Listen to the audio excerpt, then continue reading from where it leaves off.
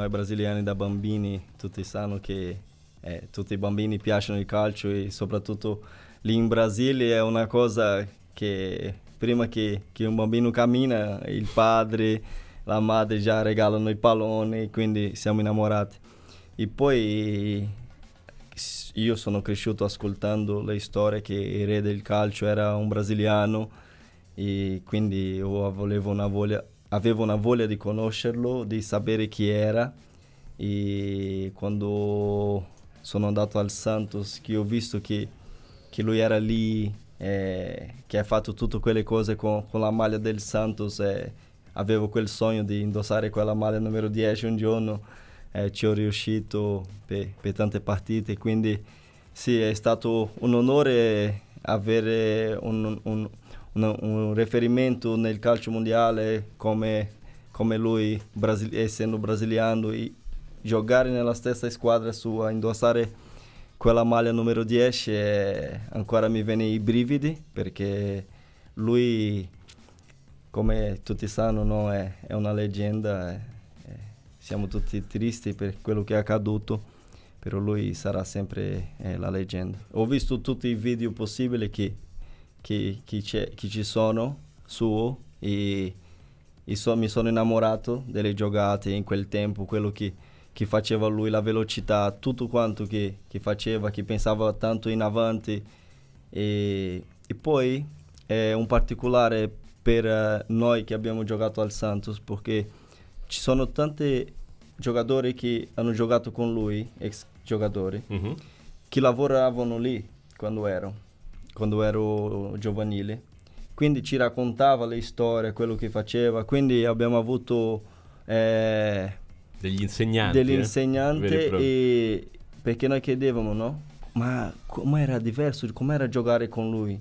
E ci dicevano che era devastante, era una cosa devastante, che non si potevano credere che lui era, era così forte. forte perché quello che, che, che, ci sono testimoni oculari, no? Eh certo. Quindi eh, a noi faceva piacere. Sì, mi ricordo il cielo delle malette a casa, eh, del numero 10, quella che ho, io, ho indossato io, che ci sono delle, delle, corone dentro, solo del numero 10, 10. del 0. Quindi a me faceva tanto piacere perché tante volte lui era lì a guardarci uh-huh. eh, nelle partite importanti, era lì allo stadio e indossavo io la maglia numero 10, quindi era una responsabilità, no? perché Enorme. i migliori di tutti i tempi ci guardavano e sono sicuro che lui guardava chi stava indossando la sua maglia. Perché... Pensa che pressione, cioè pensate che pressione. E, e, avevo in questo periodo 17 anni, quindi per me era una motivazione.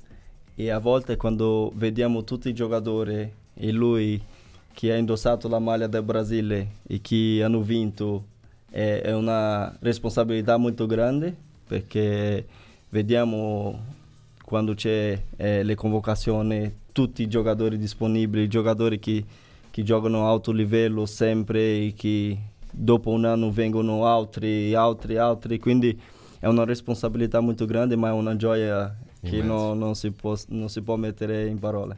No, sì, è, il numero 10 è, quando pensi è, è un giocatore che, che, inventa, un giocatore che riesce eh, a fare qualche cosa che, che, nessuno ci aspetta no? ai momenti. Eh, come oggi c'è Luis Alberto e, e, lo chiamano mago, no? perché lui inventa le cose che nessuno ci aspetta, neanche a volte noi in campo, perché lui vede tante cose in avanti, riesce a fare delle cose che ingannano gli avversari, quindi eh, ancora c'è, c'è, questo fascino per la maglia numero 10 e, e, noi brasiliani siamo passi, passi per, per, questo numero in tutte le squadre brasiliane, sempre eh, i giocatori che indossano la maglia numero 10 devono fare sempre la differenza, devono sempre fare qualcosa di diverso. In Brasile siamo tanti, quindi quando le cose non vanno bene... Eh, le, eh, le, critiche non sono tante. È un processo nazionale. È no? un processo nazionale.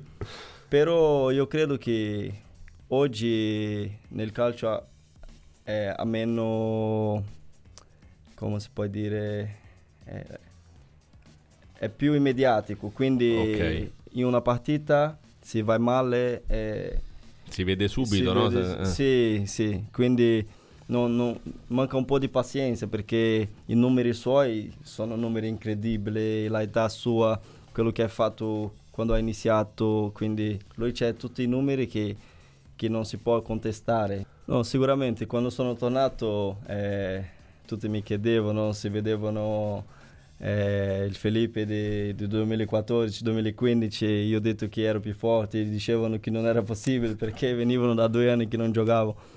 Però il calcio oggi è molto, è molto fisico e quindi devono, dobbiamo essere preparati eh, mentalmente, fisicamente e, e, e fare sempre le cose giuste in campo. Quindi quest'anno ho visto tante partite in cui sono stato eh, molto concentrato tutto, tutto, tutta la partita, quindi quelle sono cose che, che, che mi danno una fiducia e una consapevolezza che, che posso fare ancora meglio. Ciao a tutti i tifosi che ci ascoltano, voglio farvi gli auguri per la vostra famiglia, per la vostra salute, che Dio vi benedica e che noi insieme con la Lazio possiamo metterla ai primi posti d'Italia. Vogliamo lottare per voi e speriamo voi allo stadio per sostenerci come fate sempre.